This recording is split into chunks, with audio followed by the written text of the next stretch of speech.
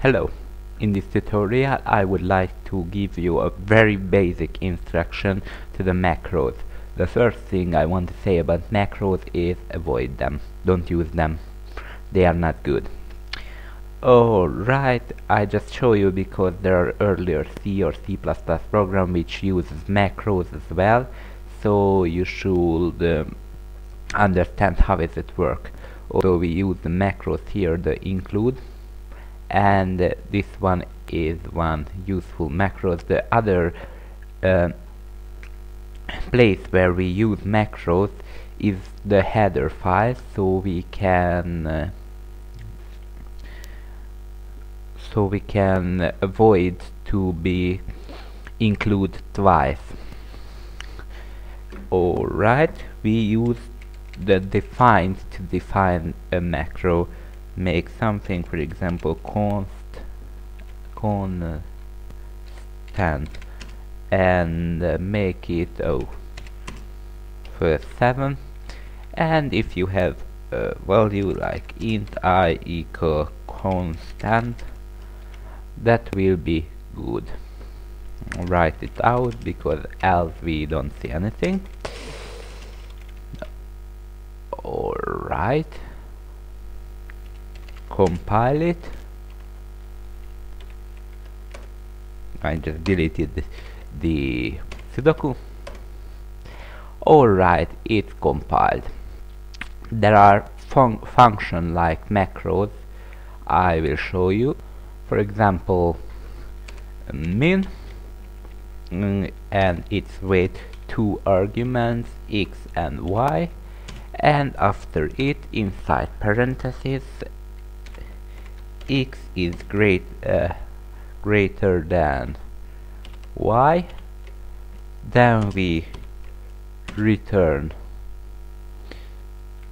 So if x is greater than y then we return with y else oh then we return else we return with uh, x I don't really use macros as well because it should be avoided. So that's why I am not so good at macros. Int j equal min and give two number like 6 and 7 alright save it compile it. Oh I deleted that macro already. So compile it. Because it's J not I. Alright now compile it and run it. And as you can see it's returned with the smaller uh, value. Actually the C preprocessor do when it finds a macro then it copies this entire thing like here and right here the 6 the 7 the 7 and the 6 like that. I, the C preprocessor actually do that. If we compile it and make a semicolon after it and compile it we should get the same result. And as you can see it's right out so it is the it is the same result. Although why should avoid the macro? Uh, because of this. It is called inline. We we have we could just make inline with the macros so inline functions actually. And if there is more so for example make a for loop and inside the for loop we made a macro or something it will grow the program because the macro will every time copied there copy copy copy and uh, it should it will uh, increase the size of the program. The other thing that it is uh, actually not listen to the scopes so it's not care about the scopes and that is that's a problem in C or C++, so actually avoid the macro. if you wa want inline functions then inline int function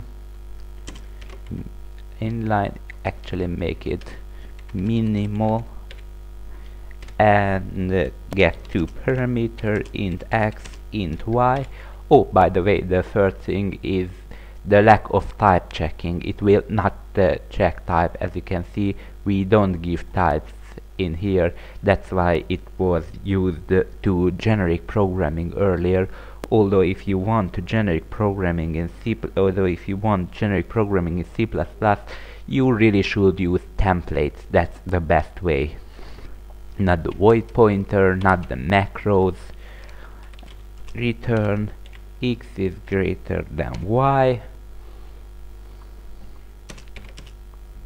then we return with uh, y as uh, x like that.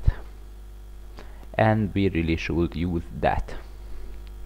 So minimal uh, 6 7 for example it is inline function as well. And it will give the same result although it has type checking it care about the scopes and it is just better to use the inline instead of macros. Okay although I didn't speak header files but sometimes you mm, but later we will use header files to separate the declaration and the, the, the definition. So the actual program code and just the declaration. It makes our pro program nicer and easier to debug and easier to read the program. Uh, then the one uh, useful uh, for macros uh, one thing that is useful for macros is uh, to avoid the two declarations. So define and then usually the name of the header file in capital uh, letters. So first uh, first and the line and the extension like that. So it will define the first H and there are there is another macro called if and def so if if not defined the first H macro we define the first H macro. And uh, we write the program here like that. And the end of the program we use uh, and if alright this will result that if first if we uh, include this header file first it will define the first H header file because the first H is not defined and the actual program so include the actual program. But if we would like to include it second times that it is defined so this will not included uh, second time and it will not uh, give a redeclaration error. So that is uh, another useful for for header files.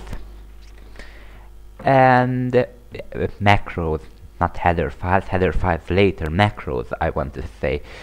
So you really should avoid the constant and function declaration with macros and use instead of inline function and const as we did earlier.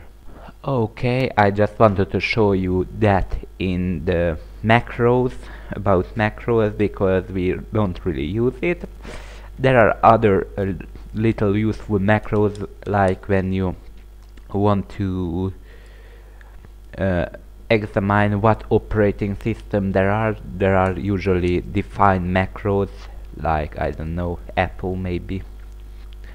Actually really don't know that I never use that. Usually I try to make a platform specific program or a that or a program that can run any platform but uh, never try to examine that uh, is that a correct operating system or not. uh, oh really I don't use macros uh, but in earlier C or C++ program there were macros.